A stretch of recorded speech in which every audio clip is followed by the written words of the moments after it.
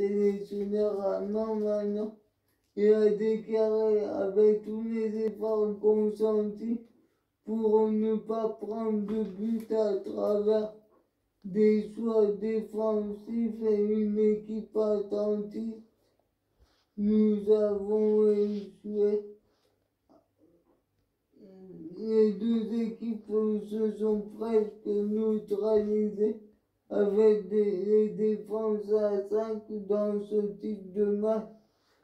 L'équipe qui marque en premier est souvent celle qui s'impose. On a de grands joueurs, mais il y a encore du travail à faire.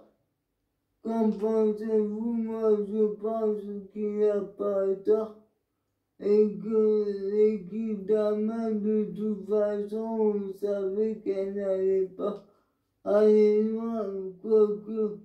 Euh, moi, perso, j'aurais préféré qu'elle batte l'Angleterre car il propose du foot offensif, ils, ils prennent des buts mais moi, je préfère voir des buts plutôt qu'une équipe qui défend bien.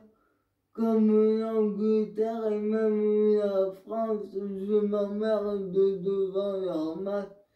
Qu'en pensez-vous Mettez des commentaires. Et on ne peut et pour moi, on ne peut pas gagner un tournoi avec une défense à 5.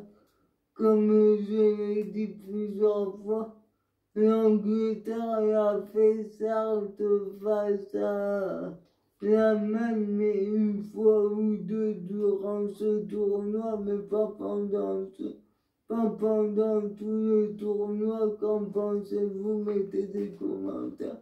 Et suivez-moi sur ma chaîne.